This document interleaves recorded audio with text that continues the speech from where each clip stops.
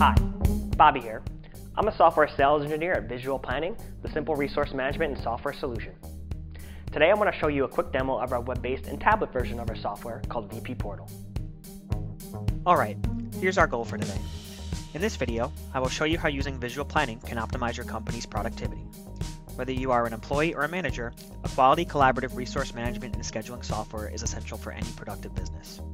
In this demo, you will learn how to apply the following points into your workflow. 1. Personalized dashboards. 2. Resource scheduling and editing. 3. VP What's Up. 4. Employee time off scheduling. And 5. Reporting and event listing by client. Today I will be showing you our web-based scheduling solution, VP Portal.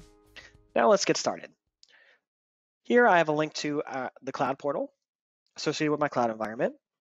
Once it loads, I'll click on OK to log in, and it will bring me to my first view, which is a dashboard. Similar to what you would see in the client version, this dashboard can display custom messages, images, events, and resource information, as well as reports. This display can be personalized through a robust permission system, allowing your employees to view specified events, announcements, or projects. So up here, we have a, a specified welcome to the Foreman portal message. We have a site listing that if I scroll down, will show all construction sites with some information based on the site. If I scroll down here, this is Hassan, and this is all of Hassan's events that are coming up. And on the right-hand side here is an example of a report. So here we have plan versus actual report across all projects.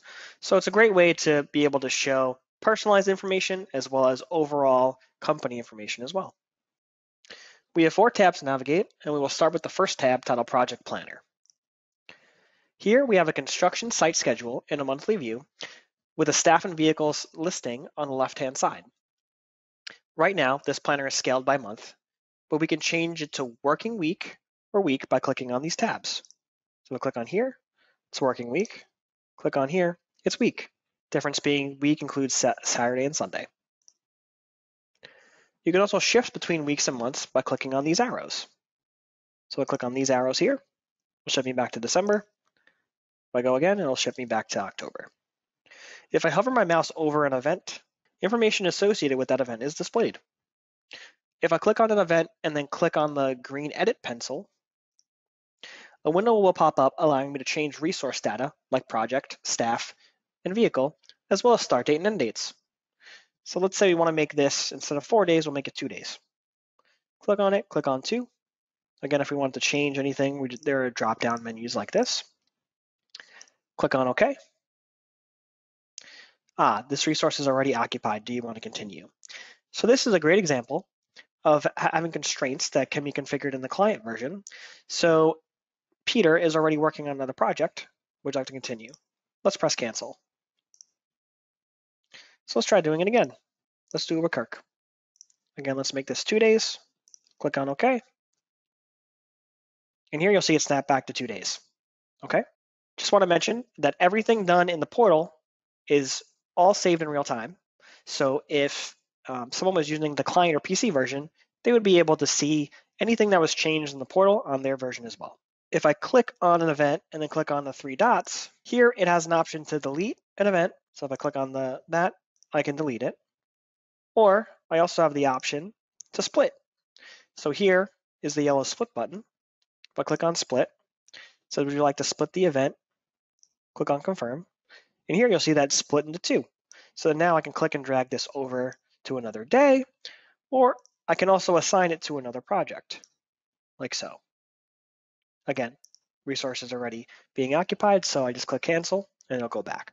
You can assign an employee to the schedule by clicking and dragging a staff member onto the schedule and releasing your mouse on the desired start date of the event.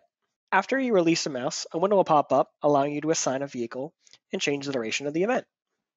So let's say I want to assign Kirk again. Just click and drag him over. You'll see the icon appears. Click, drag, let go. We can add a vehicle if you want. For now, let's not.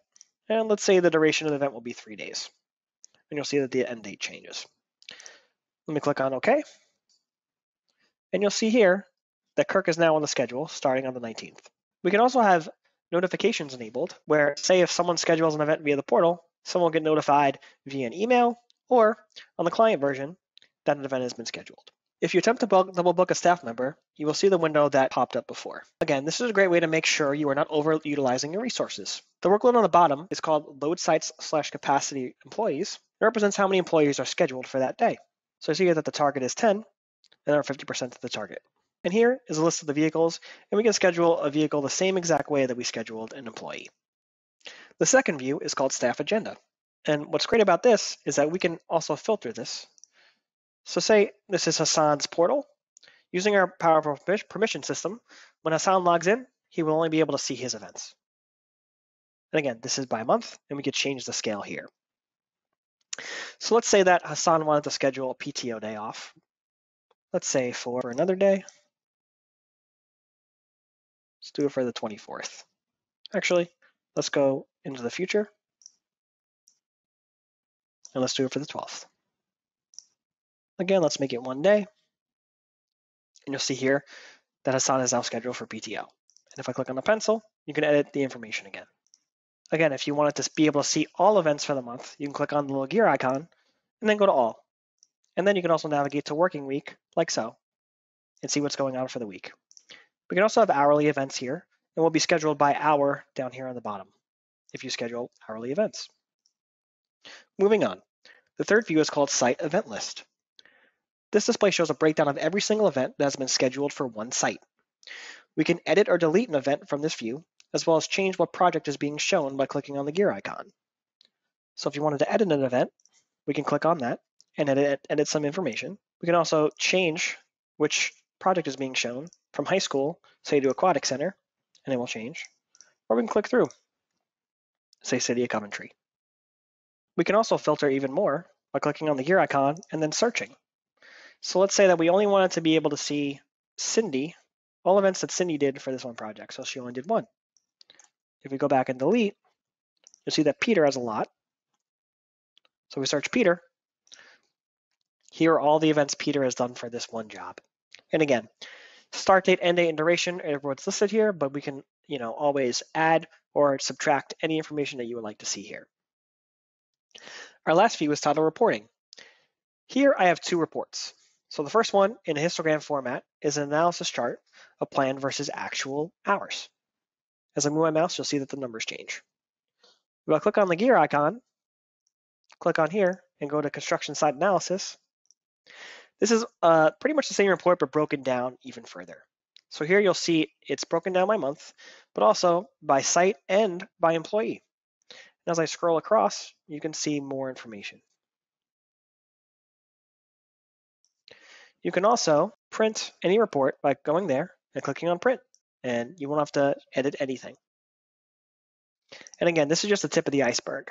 We can create many different types of reports, including pie charts, lines, and area reports as well. One last thing I wanted to show you today was the VP What's Up feature of Visual Planning. This feature allows users to create chat rooms where users can collaborate on projects or other activities.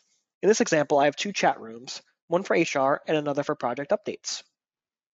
In each room, there is an example of what some conversations could look like.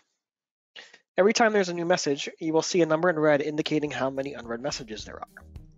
This is another great way to make sure all of your users are on the same page, making sure nothing falls through the cracks. I hope you have a better understanding of how visual planning works. For more information, or if you'd like to sign up for a demo, go to visual-planning.com.